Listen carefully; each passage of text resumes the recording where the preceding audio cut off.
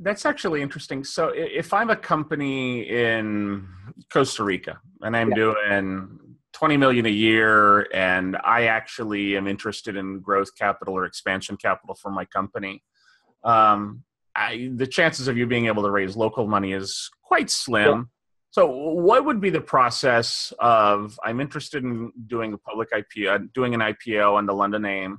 Um, what would be the process? Can you kind of walk me through what that looks like for a company? Well, I think one of the things that is good about the UK process is there's a lot of flexibility to engage with investors at an early stage. So you can actually find out if something's going to work at a very early stage before you spend money and time on a process. So the concept of testing the waters, which you have in the US as that came through as part of the Jobs Act.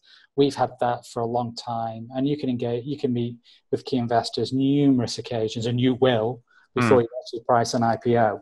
Um, and the investment banks are happy to, to, you know, kind of lead that process and make sure that you can get a read on whether things can work at an early stage. Now, mm. what I would say is that there are certain kind of companies that are going to work and some that aren't. So if you were talking about Costa Rica and that was just a a, a local shoe retailer is probably not very likely to be, be of much interest to the average investor in the UK. Now, a tech company based in Costa Rica, which also has sales in, say, Panama and Colombia, now that sounds much more interesting.